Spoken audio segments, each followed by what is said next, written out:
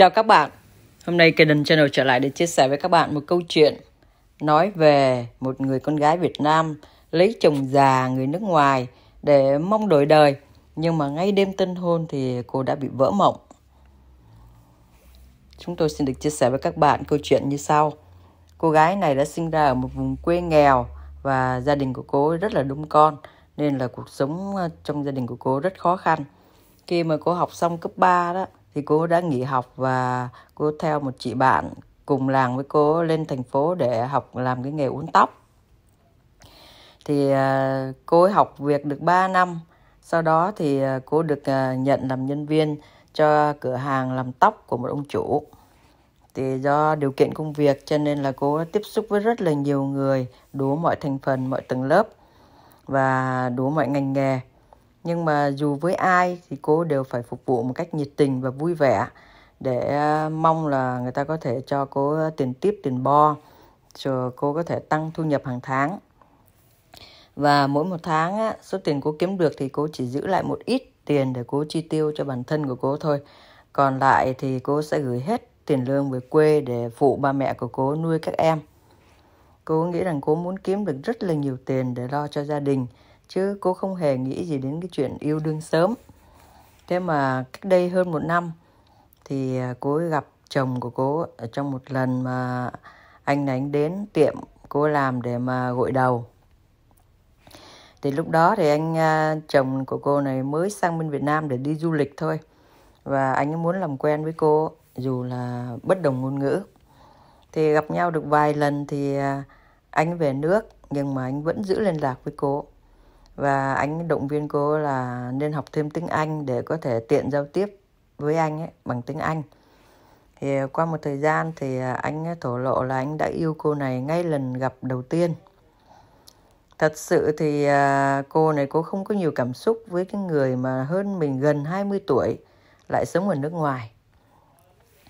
Thế nhưng mà những cái lời mà hứa hẹn của anh ấy thì à, làm cho cô này cô phải suy nghĩ.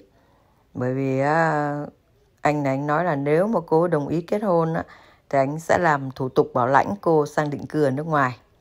Và khi cô nghĩ đến cái chuyện đó thì cô cô thấy là nếu mình mà chấp nhận á thì à, mình có thể đi ra nước ngoài, có thể đổi đời và có thể giúp đỡ được gia đình của mình nhiều hơn. Cho nên là cô quyết định là nhận lời anh ta. Và khi mà cô này cô nhận lời thì à, cái anh này ngay lập tức anh trở lại Việt Nam để anh làm lễ cưới với cô này khi mà làm lễ cưới xong đó, thì à, coi như họ thành vợ chồng. Và khi mà gặp mặt trực tiếp chưa được ba lần chỉ à, chủ yếu là chuyện trò qua mạng thôi. Thì um, cô này cô không để ý đến cái việc mà đêm tân hôn thì lại ở trong khách sạn.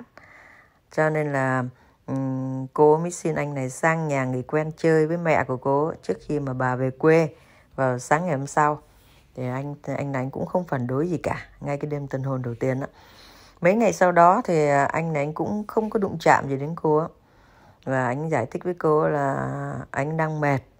Anh à, bị à, cảm hay là bị một cái bệnh gì đó. Nhưng mà anh nói bằng tiếng Anh mà cô này thì tiếng Anh lại không rành cho nên là cũng không hiểu rõ là anh bệnh gì.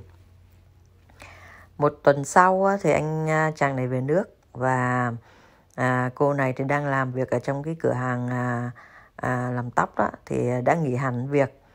Vì à, bởi vì anh chàng này hứa là sẽ gửi tiền à, chu cấp cho cô. Thì trong cái thời gian mà chờ làm thủ tục bảo lãnh thì hàng tháng anh đánh đều đặn là anh chuyển tiền để mà cho cô này cô trang trải cuộc sống và giúp đỡ gia đình nhà cô. Thì à, cô này cô có dành dụm được à, một ít tiền. Trước khi đi ra nước ngoài cùng với chồng của cô thì cô đã để lại cho ba mẹ của cô cho gia đình của cô đến khi mà cô này cô qua bên nước ngoài với à, chồng của cô rồi thì à, khi mà sống chung ấy, thì cô mới biết là chồng của cô bị yếu sinh lý rất là nặng. Ở bên cạnh vợ mà anh ta không có cảm giác gì cả cứ như một khúc gỗ. Và đêm đầu tiên thì à, khi mà vợ chồng gặp nhau đó anh rất là vụng về loay hoay rất là lâu. Nhưng mà anh cũng không thể nào mà làm được cái gì cả. Và cô này thì cô cứ nghĩ là chắc có lẽ là anh này anh quá hiền lành và không có bao giờ biết ăn chơi là gì cả cho nên anh rất là hồi hộp uh, khi mà nằm ngủ bên cạnh cô cho nên là à, anh mới như vậy.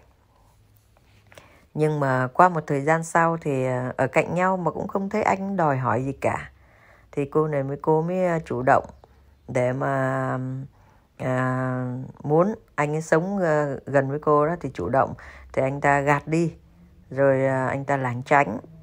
Cứ mỗi một lần mà cô này muốn thì anh đều né tránh và tỏ ra rất là bực bội. Thì à, cô này à, cô mới khuyên anh nên đi bác sĩ để khám bệnh đi. Bởi vì cô thấy con người của anh rất là lạ. Nhưng mà anh này anh chỉ hứa thôi chứ anh không có đi. Đó. khi mà nhắc đến cái chuyện đó, đó thì anh đã thay đổi thái độ và không nói gì cũng không ăn uống gì hết cũng không cần quan tâm gì đến cô này nữa cho nên cô này cô sống với anh này giống như một người bạn cùng nhà thôi, chứ không phải là một người vợ đúng nghĩa nữa. Thì à, đối với cô, sống ở nước ngoài mà gặp một người chồng như vậy cho nên là cô cảm thấy rất là buồn chán. Và càng à, sống cái cuộc sống như vậy thì cô lại à, càng nhớ tới ba mẹ của cô, nhớ tới gia đình của cô nhiều hơn. Thì ngoài cái trục trặc trong cái chuyện mà chăn gối như vậy á thì à, anh chồng này của cô khá là hiền lành và chăm chỉ, cũng không có khắt khe gì trong chuyện tiền bạc cả và đối xử với cô rất là tốt. Thỉnh thoảng thì à, anh này anh cũng cho cô tiền để mà gửi về nhà cho gia đình, mà không hề thấy khó chịu gì cả. Nhưng mà từng đó việc làm của anh ta cũng không thể nào mà làm tan biến được cái cảm giác buồn bã, hụt hẫng và thất vọng trong cô ấy. Chồng yếu sinh lý như thế thì à, cô cũng không có hy vọng là có con được. Nhiều lúc thì cô muốn bỏ về Việt Nam, nhưng mà cô nghĩ lại cô lại cảm thấy rất là thương chồng của cô. Và lại thì điều kiện cuộc sống ở đây rất là tốt nữa. Và cô có thể à, có tiền để mà giúp đỡ gia đình cô nhiều hơn ở quê nhà. Thì à, cô cứ tự động viên mình như thế để cô vượt qua cái cuộc sống quá buồn chán như vậy và chấp nhận cái cuộc sống hiện tại của cô như thế thế nhưng mà ngược lại thì à, cô vẫn còn trẻ lắm. Chẳng lẽ cô cứ phải chịu cái cảnh sống mà bên một người chồng yếu sinh lý suốt đời? Trong khi mà khao khát của cô của những người trẻ, con gái trẻ đang hừng hực, thì à, cô nghĩ là cô biết điều gì cũng có cái giá của nó hết. Thì à, cô mới tâm sự và ừ, viết cái câu chuyện này lên đây để mà cô hỏi là liệu thì cái sự đánh đổi của cô là có quá lớn hay không thì à, mong rằng khi mà các bạn nghe chúng tôi chia sẻ cái à, câu chuyện này thì à, nếu người nào mà có ý kiến gì đóng góp á, thì xin các bạn comment ở bên dưới nhé. Theo như ý kiến của riêng tôi á, thì tôi thấy hoàn cảnh của cô này có thể nói là khá là phức tạp và rất là tội cho cô. Bởi vì dù sao thì cô cũng đã lấy người ta rồi, đã làm đám cưới rồi và đã sang nước ngoài ở với người ta rồi. Thì à, bây giờ không thể nào mà bỏ người ta để mà quay trở lại à, Việt Nam được nữa bởi vì à, mình là người con gái có chồng mà lỗi là do mình khi mà mình à, quyết định lập gia đình với một người nào đó mà mình không tìm hiểu kỹ và mình không hỏi kỹ người ta xem là người ta như thế nào mà cứ nhắm mắt đưa chân như vậy thì chắc chắn là sẽ gặp những cái trắc trở giống như cô này. Một phần nữa là nếu bây giờ cô này cô bỏ cái cái anh này cô đi về bên Việt Nam á, cô sống với lại gia đình của cô thì cũng tội nghiệp cho anh chàng này, bởi anh chàng này dù sao thì cũng rất là hiền lành, tử tế và chăm chỉ làm việc, chứ không phải là những à, những cái người mà mà đánh đập vợ hoặc là làm biếng hoặc là à, có nhiều cái trắc trở trong cuộc sống. Thì cô này nếu mà cô chấp nhận với cuộc sống là đi làm cô cứ coi như là cái anh chồng này của cô là một ông chủ đi thì cô làm cho ông chủ là để kiếm tiền đem về mà à, lo cho gia đình của cô giúp đỡ cho ba má của cô ấy, thì cô tạm thời à, có thể là được trong cái cuộc sống này. Nhưng mà cô còn trẻ quá cho nên là nếu mà cô à, cứ tiếp tục sống trong cuộc sống này thì cũng tội cho cô. Bởi vì à, con còn trẻ mà ai chẳng mong muốn có một cái gia đình êm ấm hạnh phúc có một à, người chồng mà à, mang lại hạnh phúc cho mình cả về mặt tài chính lẫn về mặt tinh thần ai mà chẳng muốn có những cái đứa con ngoan ngoãn giỏi giang để mà có được một cái gia đình êm ấm đâu ai mà muốn sống trong cái cảnh như vậy.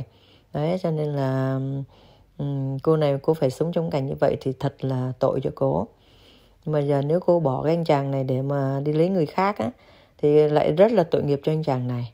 Đấy thế cho nên là à, khi mà mình lập gia đình thì à, à mình cũng phải tìm hiểu kỹ càng hơn một chút. Có rất có nhiều người tìm hiểu kỹ lắm coi như là biết được hết cả đường đi nước bước ngõ ngách của người ta.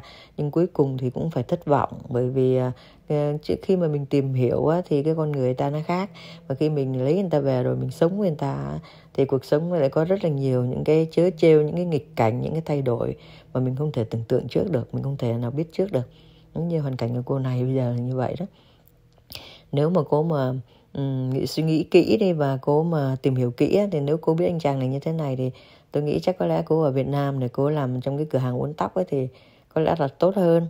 Để khi nào mà gặp cái người nào mà à, đàng hoàng hoi tử tế và à, quyết tâm cùng cô xây dựng gia đình đó và cả hai vợ chồng cùng làm ăn thì cùng à, sống với nhau á không có gặp cái cảnh chớ trêu như thế này thì chắc có lẽ là cô hạnh phúc hơn. Cô không phải à, đứng trước cái, cái, à, sự lựa chọn quá là khó khăn như vậy. Ai cũng vậy thôi.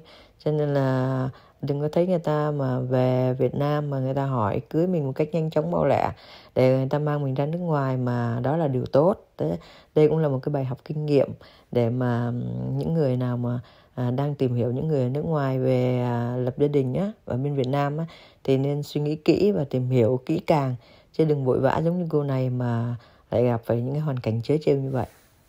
Thôi chào tạm biệt các bạn nhé. Hẹn gặp lại các bạn trong những video kế tiếp nhé. Chào các bạn, mình là Ân. Cảm ơn các bạn đã theo dõi video của mình nhé. Nếu các bạn muốn à, xem video của mình ra về sau này, mong các bạn nhấn nút subscribe ở dưới, nút màu đỏ đấy các bạn. Tạm biệt các bạn.